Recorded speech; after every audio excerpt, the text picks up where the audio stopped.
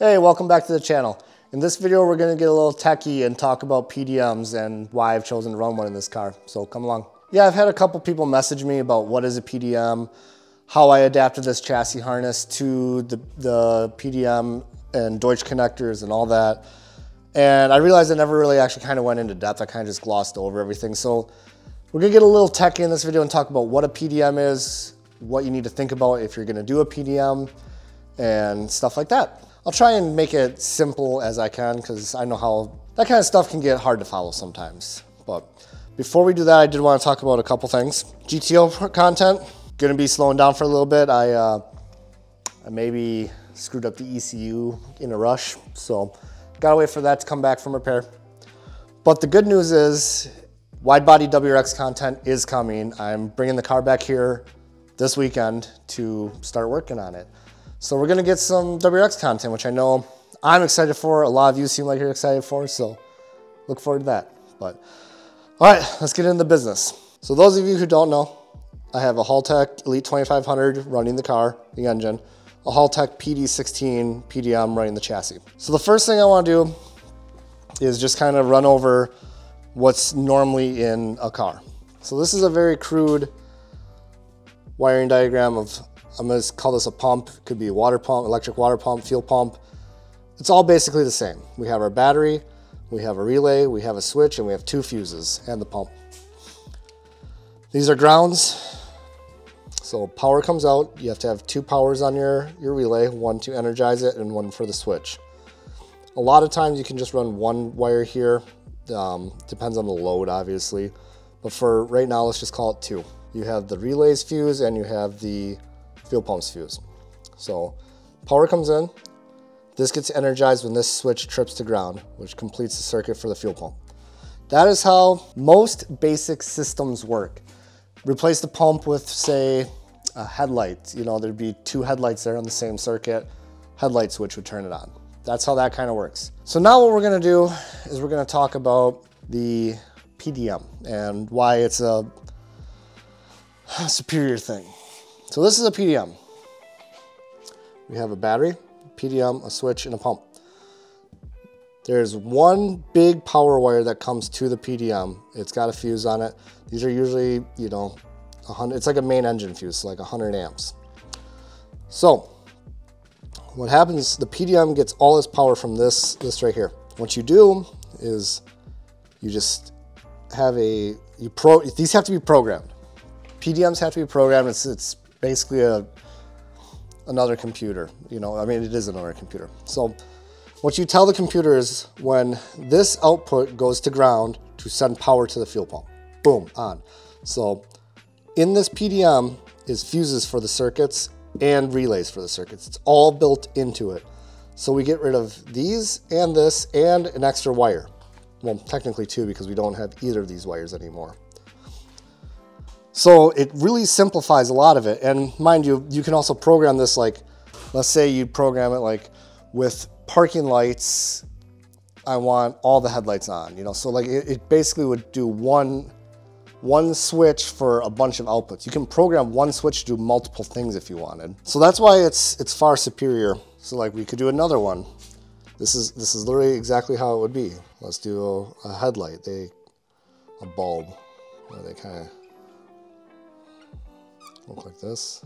So what you would do is you would have another switch or a program, whatever you want, and you'd have this split to each headlight. Boom. No fuses, no relays. They're all solid state built internal in this. So now we'll go look at it actually in the car. Now, mind you, my wiring is far from complete on the interior. I just kind of got it up and running and I'm like, hey, I want to drive this for a little bit and come this winter, I'll actually uh, finish up doing the wiring because there's a lot of extra wires that can, I bought a, a uh, like a premium harness from Haltech that's basically has everything you just need to wire it yourself. So there's extra stuff that I don't need. So here, here's the PDM. Power comes in into the battery right here. And these plugs are inputs and outputs. So like all these up here, These are all the ones that go over to my, my cluster. Which we can go over there and we'll talk about that real quick. So now if you look, I have Deutsch connectors here. None of these are actually to the factory stuff. We still have the factory connectors. The reason I put a little like sub harness in here is if there's ever a problem in one of these wires that needs to be repaired, I'm not trying to repin it and do it up here. I can just fix it down here. It's kind of just like a, a little bit of a service serviceability thing. These are our headlights. They're not, is it? Yeah, these are turn signals, sorry. We got left turn signal, right turn signal, high beam. So this will turn, it'll ground the system, ground the system, and it'll ground the system. That's how that works. Well, we can take another look at the headlight here. Yeah, so we got a ground wire, we got this signal for the running lights and signal for the headlights. I hope, I'm hoping all this kind of makes sense, you know, it's,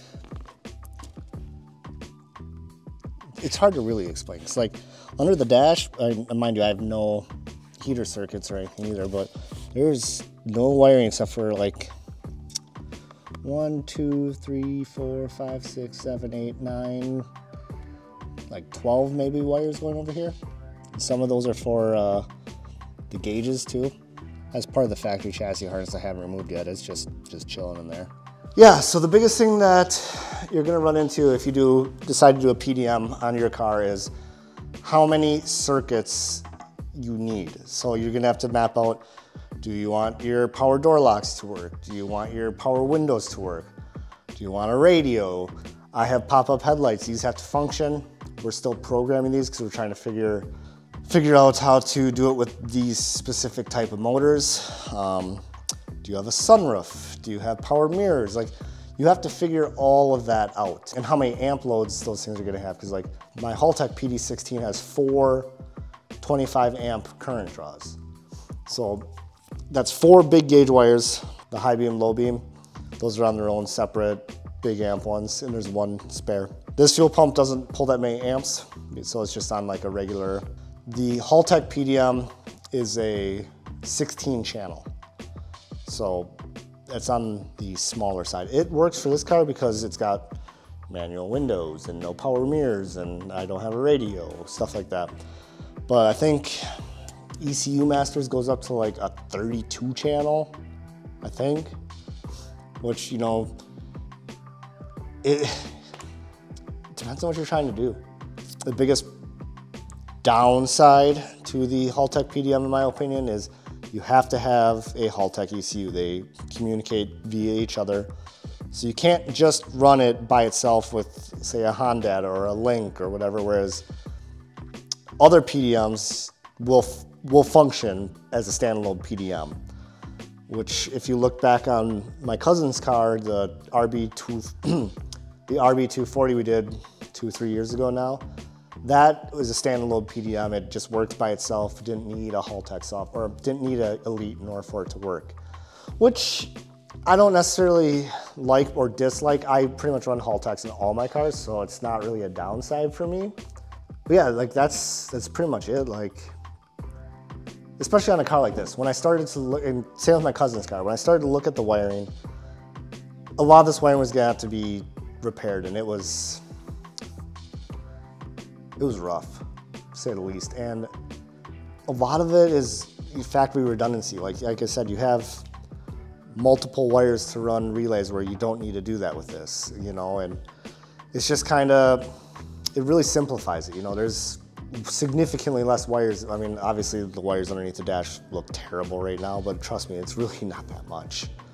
In all reality, I, unless you're trying to make uh, super OEM, I don't even want to say it like that, unless you, if you want all the amenities and you have, you know, seat heaters and stuff like that, I, I would definitely avoid doing a PDM, but in, in my opinion, pretty much any car I build that it's probably gonna have a PDM in it, more or less. It's just, it's easier for diagnostics, it's easier for wiring, it simplifies everything. I hope that answers some of your guys' questions. Make sure you guys comment below if you have any more. Um, i reply to everyone I see, which is usually pretty regular unless it, the video is super old because sometimes they won't show up in my feed. Chances are uh, you're gonna be seeing another PDM video coming soon. Um, my buddy Derek's FD is having some chassis harness problems, so we're gonna have to rewire that car and we're trying to figure out how we wanna do it right now because we're waiting to hear back on his ECU situation. So if you guys are looking forward to that, make sure you subscribe and we'll see you next time.